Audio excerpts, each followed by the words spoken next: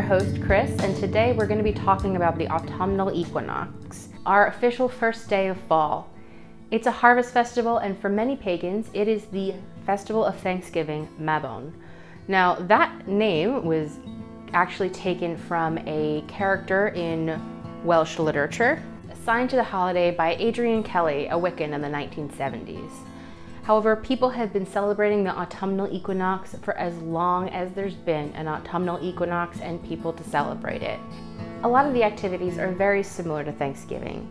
It's about not only bringing in the harvest, but being thankful for what we have and the plenty of this time of year. You may have noticed that a lot of these festivals coincide with harvests, and that's no surprise considering how much our ancient ancestors depended on that food. We used to live in close companionship with the earth and knew her ins and outs. And really, that's what these holidays are designed to do, to cause us to reflect, look back, and feel our connection to the earth beneath our feet. No harvest stays fresh forever, so ancient peoples found a number of ways to keep things preserved. Most common of these was actually salt curing, we're gonna actually use a little bit of salt curing today, but we're going to take advantage of the naturally occurring bacteria in cabbage.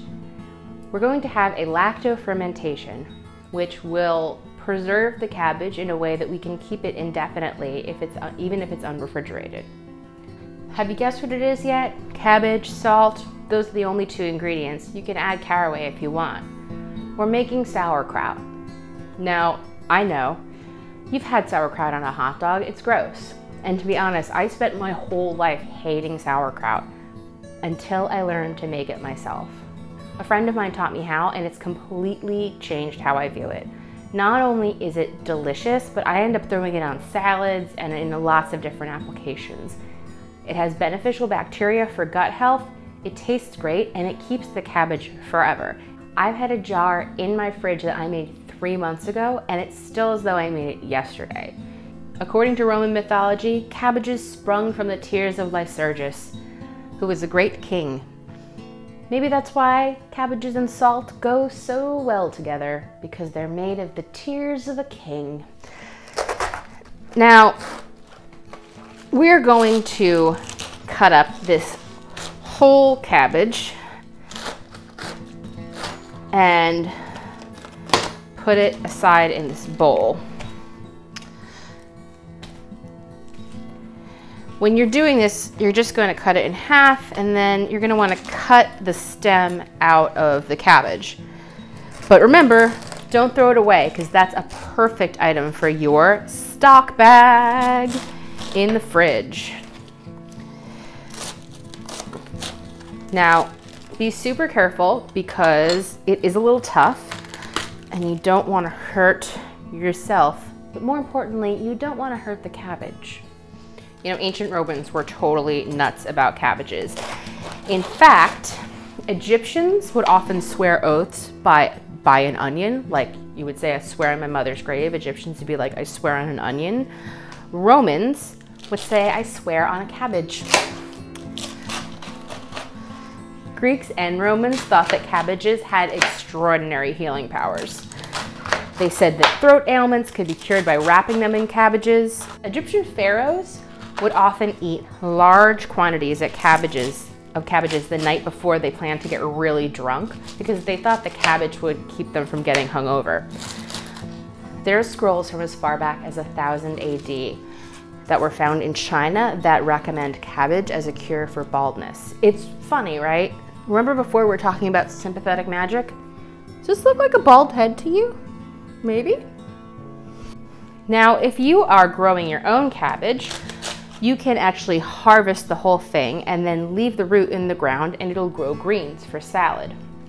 But if you're in Sussex and Kent, you need to make a deep X into the actual stem of the cabbage because that keeps mischievous sprites away from it and demons. I don't know why mischievous sprites or demons would want to go near cabbage, but once you've had the sauerkraut, you'll understand why.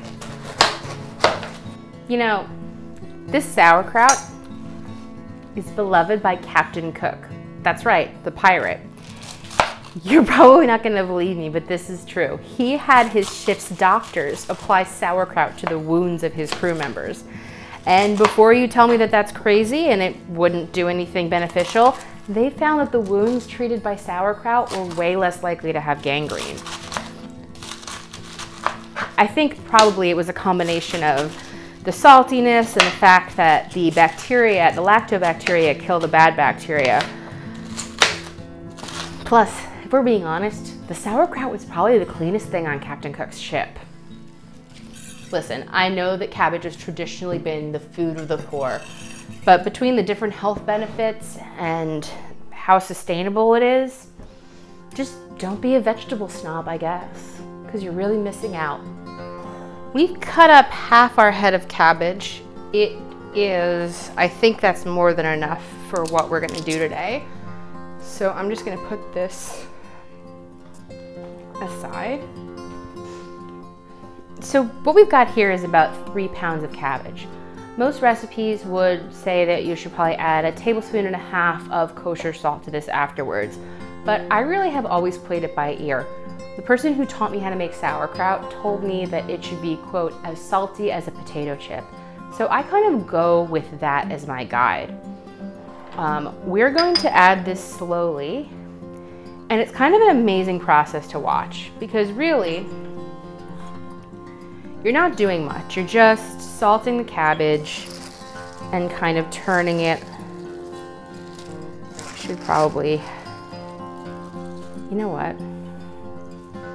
So we're going to salt this a little bit more. Now, here's a little trick for, for making sure you're getting salt on all your parts of the cabbage. If you put one bowl over the other one, you can give it a good shake and really get that cabbage properly covered. One of the most important things you want to do is to keep this sterile. So the jar that it's going to go into, the bowls that you're working with, if they can have, you know, be as clean as possible and also really make sure your hands are clean before you start. Okay, that's kind of where we want to be. Salty as a potato chip. It's covering each piece well. And the process is beginning. If we look close at this bowl, you'll see that the cabbage is slowly starting to release its water. We're gonna let this sit for just a little while so that the salt can start to draw the moisture out of the cabbage. Everyone has their own twist on sauerkraut after they start making it for a while. But the thing that I've really come to love is adding ginger. I know it sounds a little weird, but the freshness of the ginger, it's killer. It really makes the sauerkraut 10 times of what it could have been. Um, when I clean ginger, like when I peel it, I don't use a vegetable peeler. I feel like it, you lose a lot of the ginger. So I actually use a teaspoon and I just run the teaspoon over the ginger and it just cleans off, oops, cleans off all the skin. So just run the spoon over the ginger and it really just pulls the skin right off.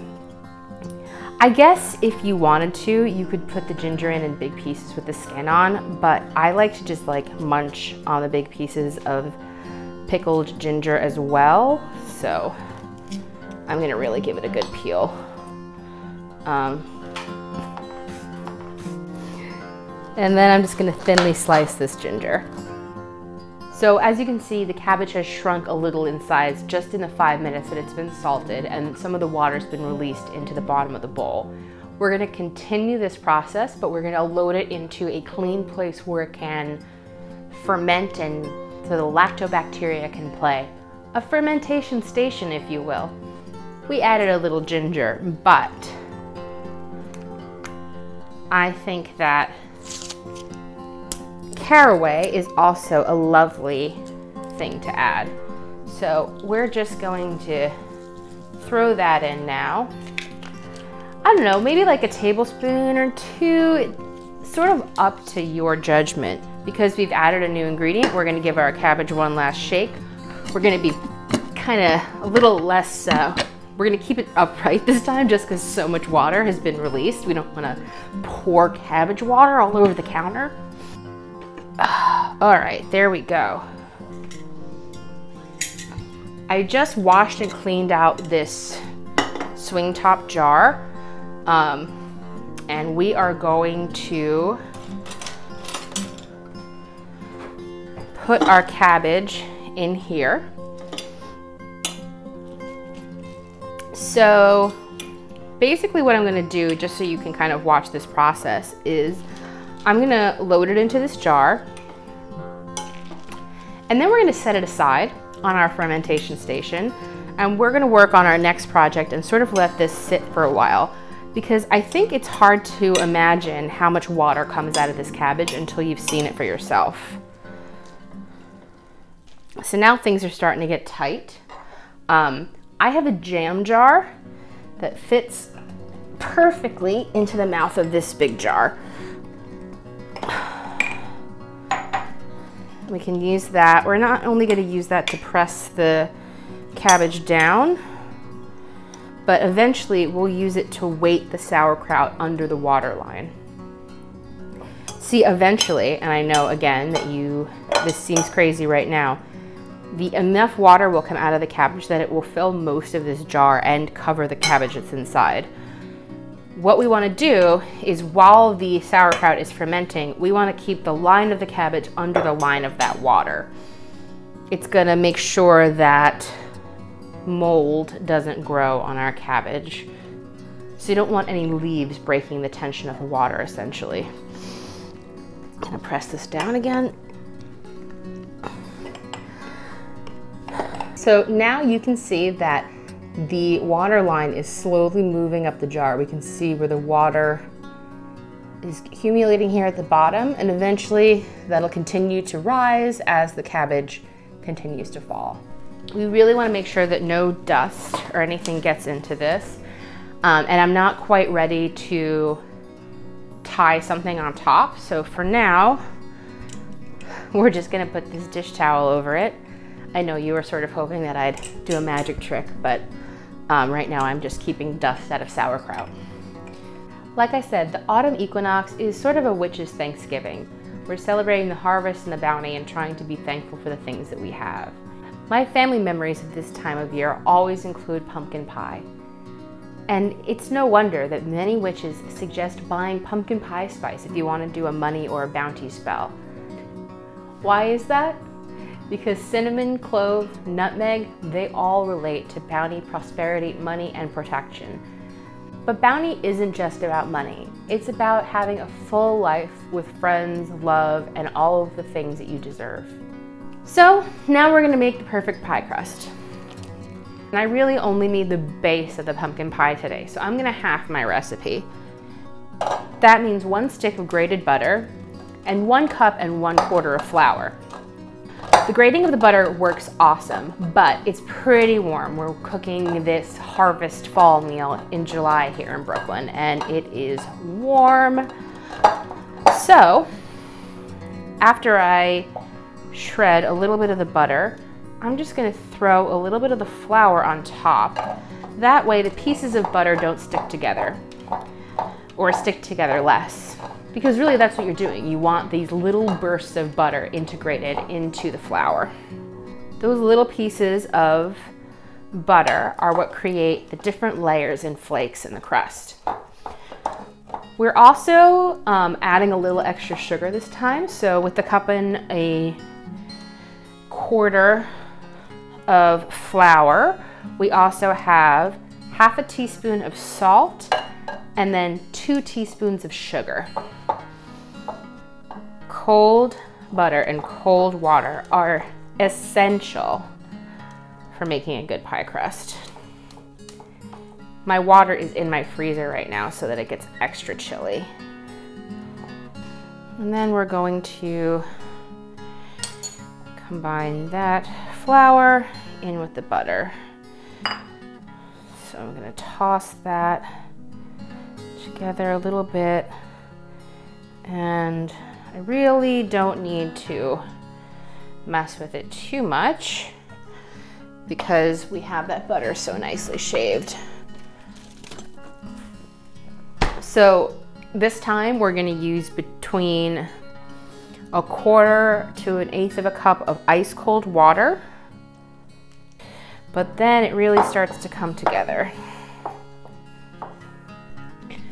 So now it's beautiful. I can see all of the pieces of butter integrated with the flour. We're at the perfect stage to let it rest. We're gonna put it in the fridge for about an hour to let it rest and to let the gluten develop just a little bit. And then we'll be ready to make some kick-ass pumpkin pie. Okay, so our pie crust is cooling and we have our oven at 425 heating up and getting ready. I have all of our ingredients for the pumpkin pie filling here, but I think it's time to take a little trip to fermentation station and see what's going on. So last time we saw this, the jar was just starting to show some water. And oh wow, we've got a lot more now and we can definitely see that, ah, this is starting to sink. Um, and the water is rising. We're still not at the point where I'm happy with the level of water we're getting out of this cabbage, but I do want to start weighting it down a little. That's going to help a lot. So to aid us in this process, I have a bag of marbles. We have our second jelly jar in here, providing pressure onto the cabbage. And we're just gonna give it a little extra weight by pouring these marbles into the glass. All right, now I want to apply just a little pressure here. So, um, all right, nope, we're not quite at the point where I can swing this jar shut, but the extra weight should help us and we're just gonna continue to keep an eye on this. Let's talk pumpkin. In this bowl, I have 15 ounces of pureed pumpkin. Um, it is the pumpkin from the can at the supermarket. I know a lot of people are saying, but fresh, in season. And 99.9 .9 times, I totally agree. But if you've ever made a pumpkin pie from scratch, directly from fresh pumpkin, it's just not as good. Um, the canned pumpkin has had a lot of the water removed. It's really uniform in texture and in like the way it feels in your mouth. Um, so it actually works a lot better for pumpkin pie filling than trying to stew your own from scratch.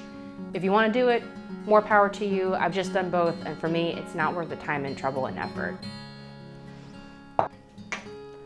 So we talked a little bit about the pumpkin pie spices. Um, I am got some cloves in here. Um, if you have a spice grinder, which you should have separate from your coffee grinder, don't grind spices in your coffee grinder. You can use that, but we're old school here, so I'm gonna use my pestle and mortar. Most pumpkin pie recipes call for a half a teaspoon of clove, a half a teaspoon of cinnamon, and a half a teaspoon of nutmeg. I like to do a little more than that, and I'm also gonna be adding some ground dried ginger today.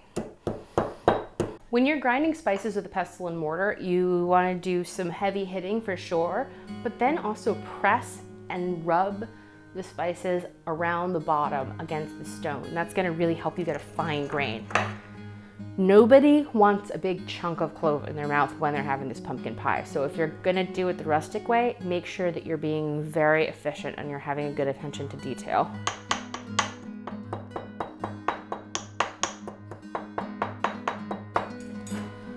So we also need to add three eggs, which we're gonna beat, um, and those will go into the filling. Uh, we are going to put the cloves and we have some fresh cinnamon here that I'm gonna grate. Ooh, our oven's ready. I'm also going to add half of a nutmeg.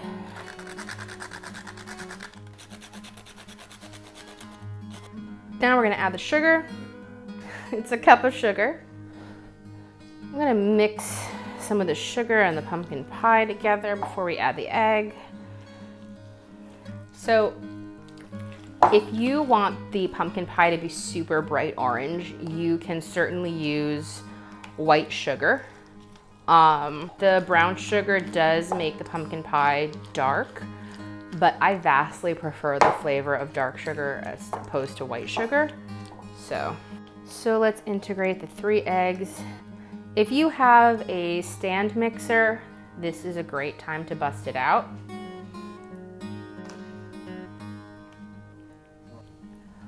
Okay, it looks like our pumpkin pie filling is about ready. I am gonna be using my metal rolling pin for this. You can see the steam coming off of it because when I'm making pastry, I keep my metal rolling pin in the freezer. You can actually do that with a wooden rolling pin too. It's really just about getting the rolling pin nice and cold. This pie crust has been resting and chilling, which are like two of my favorite activities.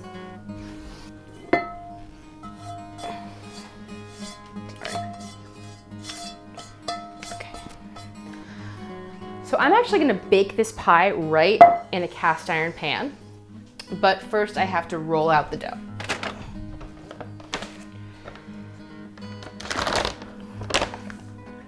We're just going to lightly dust our countertop with flour and lightly dust our rolling pin with flour. You know, bakers get awfully attached to the kind of brand of flour they like. I know a lot of King Arthur devotees or people that only get their flour from one kind of miller. As you are rolling out the pastry dough, you're gonna find that it sort of cracks at the edges. You can sort of build it back up just a little bit and then roll it out again. I'm sure there's like some pastry chef somewhere who's gonna leave some angry comment about how that's not the right way, but um, like I didn't go to the cordon bleu and I also like don't care. No, just kidding, I do care. Please tell me all the information. This is really tough um, because if I'm being frank, it is about 95 degrees, the absolute opposite of what is ideal for pastry crust. But we are going to do our best. Um, actually, I hate that. I kind of want to re-roll it out. So I have to literally put this back in the fridge. It's not, it's literally just melting. It's falling apart. I think it's just, I think it's just too hot in here. I have to drop the temperature.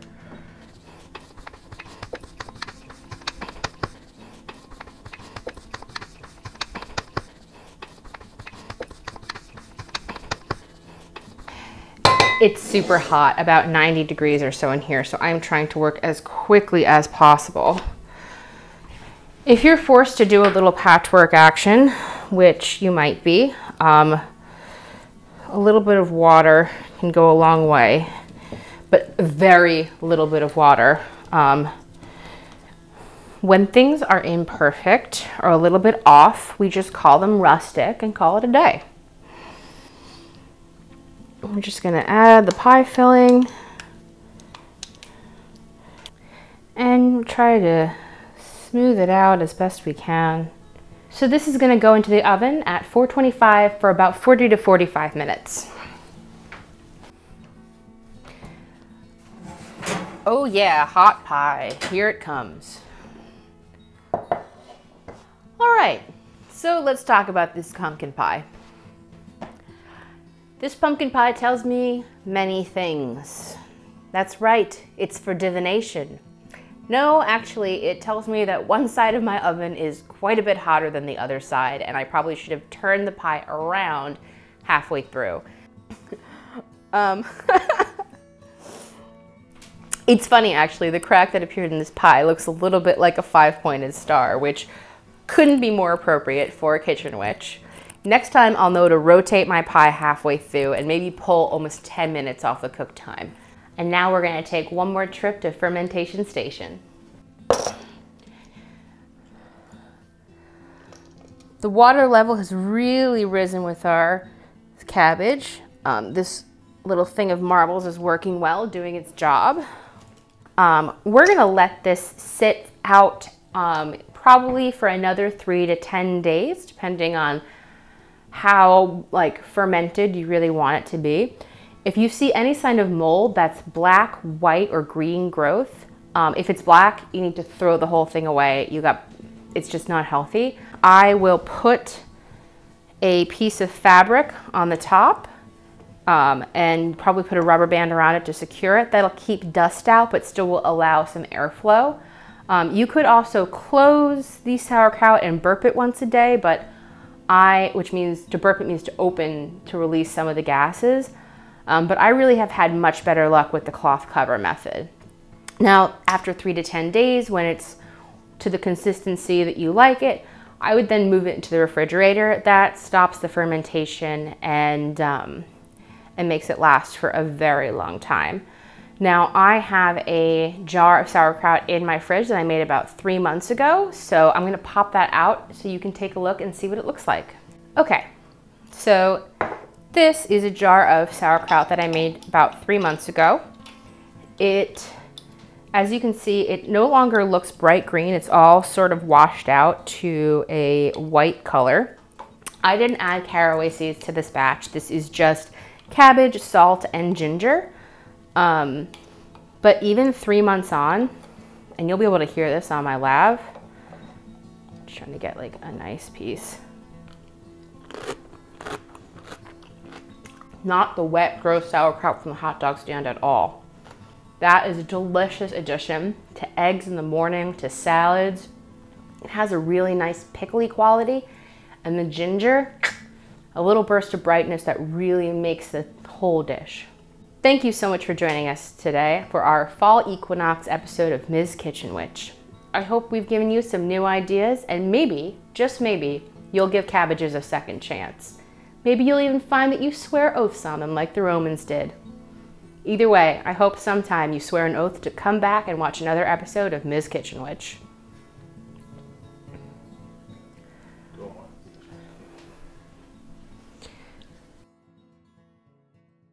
Hello, it's me. You know, yesterday I pulled the pie out of the oven and it wasn't what I wanted it to be, and I said a lot of things about accepting things as they are and being okay when something goes wrong, and it was lies and mendacity. It was hipster bullshit. I I was really disappointed, and even though I know that this pie is gonna taste fine, I was really frustrated because we are shooting this episode in the middle of summer and we're in a Brooklyn apartment where air conditioning is only on the outside and it's 90 degrees out and we have to turn the AC off usually for sound. And if you have ever tried to make pastry in the middle of summer, you know that it literally is melting through your hands while you're trying to do it. Because pastry crust is something I've done a lot more of, it was super frustrating for it to turn out so much, so far away from what I wanted it to be. Um, so last night after my director went home, I went back into my fridge and I remade the pie, sort of. I didn't really have enough leftover filling to make another whole pie, so I ended up making four mini pies. Um, and here is my takeaway. One, if you are making pumpkin pie, the timing of the recipe is so important that I would never actually go by the exact time that it says on whatever recipe you have. Your oven is gonna be a little bit different, so maybe after 15, 20 minutes, like keep an eye on it. You want the middle to be just still jiggling a little bit, almost set. Um, don't want it to be super cooked all the way through. I didn't actually have enough filling to make a whole nother pie. So what I decided to do was shrink it down and do a mini version. Um, I used a muffin tin and I used a large like camping mug to cut out perfect circles and then I could just drop those into the muffin tin, which made a tiny pie crust. I actually do this a lot. Um, I like to make small mini pies for parties just because it's easier for people to just grab and go. And like you can hold it while you're drinking, which is very important at a cocktail party. With cooking, it's not the end of the world. If something goes a little awry, you can always try again. Um, and I did, and I'm actually really happy with the results. Um, and I have taken away some important pumpkin pie lessons and reminders. So I was able to put those together, remake the filling, time it out a lot better. I also um, went as far as using some of the extra dough to make some leaves and I did some braiding on the edge of these um, just to like make it a little, I don't know, I really felt like I had to go for it hard because this turned out so far away from the way that I wanted it. Like I did want it to be big and beautiful and rustic, but like all of those things just like went so far afield that I decided to go totally in the opposite direction and make these tiny little delicate things. Um, I also used a egg wash on the edge like I wanted to do for the galette and forgot. Um, so I feel like this is the redemption arc here. My character arc right back here where I, I give it another go. Um, and it's always worth another go. There's going to be disasters. We're dealing with new situations all the time. Um, but as long as you, whatever. Uh, I don't know why this mattered so much to me. I just, I think I just didn't want, I didn't want the pie to win.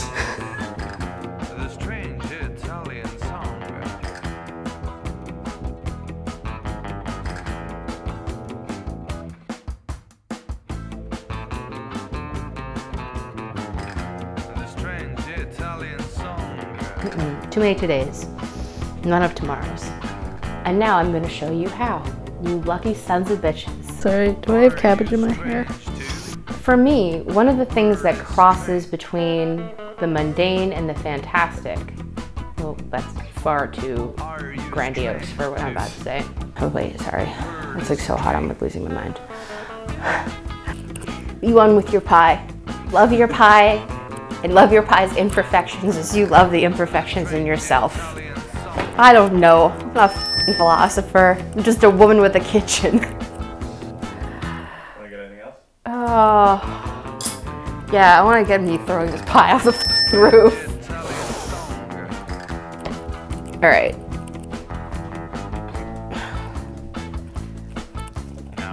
Cut.